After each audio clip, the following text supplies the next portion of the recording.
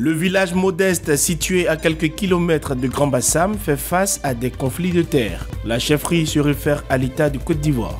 Nouveau grade pour le Rotary Club de Côte d'Ivoire. Le club service reçoit sa charte, preuve de reconnaissance au niveau international. Le massa éclaté dans différentes communes d'Abidjan. Les populations d'Abobo ont vibré au rythme des tam-tams et des danses. Voici pour le sommaire. Bienvenue. Rien ne va plus entre les propriétaires terriens de Modeste, les acquéreurs et les sociétés immobilières. Le nouvel épisode d'une saga de plus de 20 ans déjà. Bien qu'en février dernier, la justice ait permis à la chefferie de gérer les affaires foncières du village, l'application de cette décision piétine. Difficulté demain, toujours la même difficulté. On a eu des morts en son temps. On a eu des personnes qui sont persécutées. Ils viennent troubler l'ordre. Nous ne réagissons pas. Les gens qui sont propriétaires terriens le, la communauté villageoise qui est propriétaire terrien et mieux des familles ne peuvent pas accéder à leur terre par la faute euh, sociale. Voyant la situation aller de mal en pire, la chefferie souhaite s'en référer à l'État. À son Excellence euh, Alassane Ouattara, le président de la République de Côte d'Ivoire, aux autorités compétentes, donc au ministre de l'Intérieur, au ministre d'État, au ministre de la Défense, au ministre de la Construction, au ministre de la Justice, de nous aider à rentrer en possession de nos terres parce qu'une décision de justice la plus haute juridiction de Côte d'Ivoire, la Cour de cassation, a rendu son verdict, nous donnant raison et que nous avons pleinement le droit de récupérer nos terres à Modeste. Ce sont en tout plus de 4000 hectares de terrain qui auraient été spoliés à la communauté Indima de Modeste.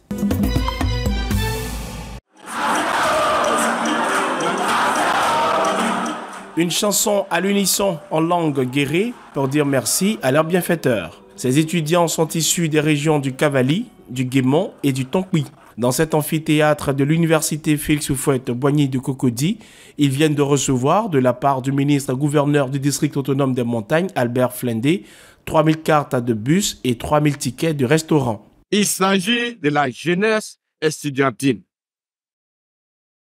Qu'elle soit d'origine des montagnes ou pas, mais cette jeunesse du 18 des montagnes est donc ma jeunesse. Donc, je me dois d'être au côté de ma jeunesse. La deuxième raison, c'est que le contexte de l'année de la jeunesse qui a été décrété par le président Rassan Ouattara en 2023 et qui se prolonge en 2024 et 2025, je m'inscris pleinement et vous avec moi dans cette vision du président sur la jeunesse et pour la jeunesse. Ce don s'est fait à travers l'Association de la jeunesse unie pour le développement du district autonome des montagnes, un acte social qui intervient dans le contexte des déguerpissements et de l'aménagement en cours dans le district autonome d'Abidjan, où plusieurs étudiants du district autonome des montagnes en situation de précarité ont été identifiés par les services du ministre gouverneur Albert Flendé. résumé, c'est d'abord, le projet débute d'abord avec 500 étudiants qui auront ces cas de bus et ces souches de tickets du restaurant. Et c'est mensuel. Et le nombre sera graduel en fonction du nombre d'inscrits à l'université. Un soulagement pour nous, ceux qui n'ont pas de moyens de transport, ceux qui sont, ceux qui ne mangent pas une fois par jour même, disons comme ça, ça va leur permettre également de manger un repas par jour, mais voilà, en quelque sorte. Et pour leur permettre de bosser. L'opération qui coûte entre 25 et 30 millions de francs CFA s'étend sur l'année scolaire 2023-2024 et va se poursuivre dans les villes où se trouvent des universités à savoir Daloa, San Pedro, Bandoukou, Boaké, Korogo et Mans. Le Rotary Club de Côte d'Ivoire vient de franchir une étape capitale de son existence. Il vient de recevoir sa charte des mains du Commodore régional Afrique, le PDG Souni Akoufa. Recevoir cette charte signifie que le Rotary Club de Côte d'Ivoire est désormais doté d'un grade de maturité à l'échelle internationale. Nous allons développer des initiatives et sensibiliser avec des programmes de collecte de recyclage ainsi que des solutions novatrices pour séduire l'impact de la pollution plastique sur nos océans et dans nos communautés. Membre de la flotte rotarienne de Côte d'Ivoire, le PNC PDG Marie-Irène Richemont prodigue des conseils aux anciens et nouveaux adhérents. Pendant votre offrir mettre un point d'honneur formel à enrichir, à vous enrichir, à vous former, à renforcer vos capacités.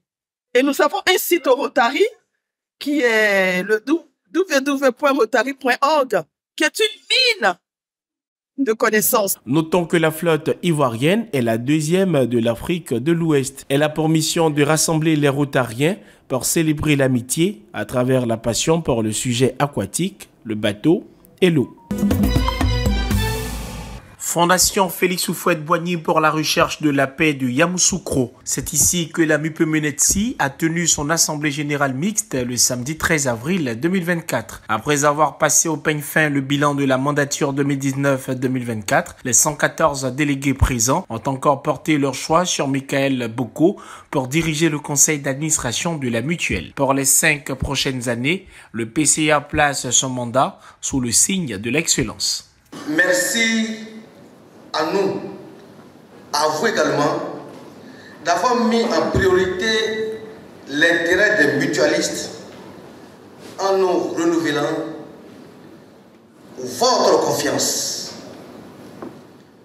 Je voudrais préciser, quand nous renouvelons votre confiance, c'est vous-même vous êtes élu. La gouvernance de Michael Boko est adossée aux solutions numériques. Depuis 2021, il a contribué à la transformation digitale de la MUPEMUNETSI. Pour rappel, la mutuelle des personnels du ministère de l'Éducation nationale et de l'enseignement technique de Côte d'Ivoire compte plus de 80 000 adhérents. La commune d'Abobo a accueilli la parade du Massa du 16 au 17 avril. La population a pris d'assaut le centre culturel communal. À chacune des prestations, la foule hurlait de joie. C'est surtout la danse Zaouli qui a fait vibrer toute la salle, eu égard au pas cadencé du masque. L'initiative de faire éclater les activités du Massa dans les communes d'Abidjan est une satisfaction pour la première magistrate de la commune d'Abobo. Sa représentante Begri Yao s'en félicite. c'est un message poignant parce que nous nous intéressons au Massa et vous avez la salle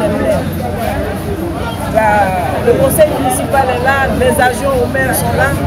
Donc, la montre que c'est nous devons nous intéresser. Des festivaliers et artistes internationaux n'ont pas voulu se faire compter l'événement. Ils repartent satisfaits. Il y a beaucoup de gens, beaucoup de jeunes qui ont dansé, il y a beaucoup d'ambiance ici. En tout cas, c'est très intéressant. On est content d'avoir vu les danses traditionnelles, des aoulis. C'est pour ça qu'on est venu. Nous sommes très contents d'accueillir cette euh, 13e édition du festival euh, Massa ici à Bobo.